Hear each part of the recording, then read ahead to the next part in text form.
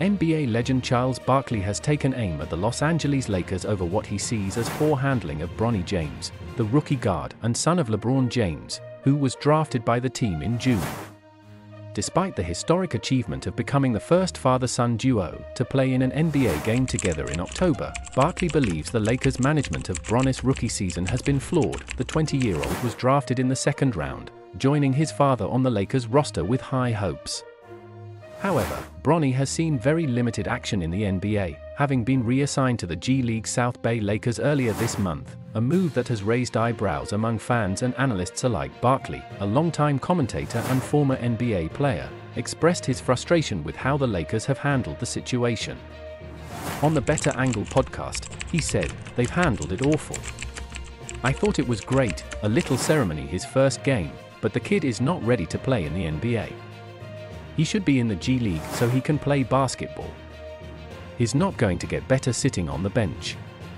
Barkley further criticized the Lakers for allowing Bronny to only play during home games, with the rookie remaining sidelined during away games.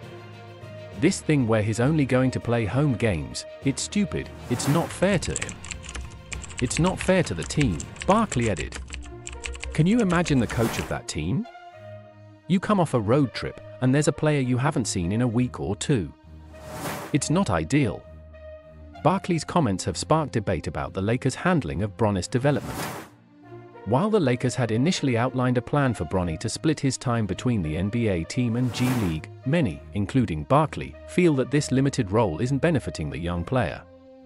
In the G League, Bronny has made a slow start, recording just 10 points, 5 rebounds, and 6 assists in 57 minutes of play across two games. While some question whether Bronny is truly ready for the NBA, his father, LeBron James, has expressed his gratitude for the opportunity to play alongside his son, calling it one of the greatest gifts he's ever received. Despite the limited playing time, LeBron remains focused on cherishing this special moment with Bronny, emphasizing the significance of their shared experience on the court. Barkley, however, feels that the situation has cast a negative light on the Lakers and even LeBron. It's a bad look for the Lakers, he said. I really like everything LeBron has done, but this is a bad look for him, in my opinion. The saga surrounding Bronny's journey in the NBA has become one of the season's most talked about storylines.